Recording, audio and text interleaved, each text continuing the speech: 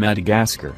It has an exotic hold over the imagination, conjuring up a land of wild nature, plains of baobab trees, armies of lemurs, unique animals, and lush rainforests. Since so few people visit, roughly 350,000 per year, our imagination runs wild when we hear its name.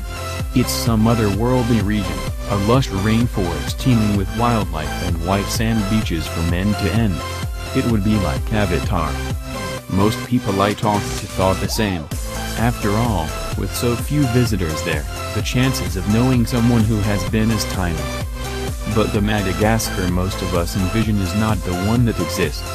The country is quite arid thanks to mining, deforestation, and climate change. These days, the landscape is a lot less lush than it once was. It's not as wild and exotic as we think.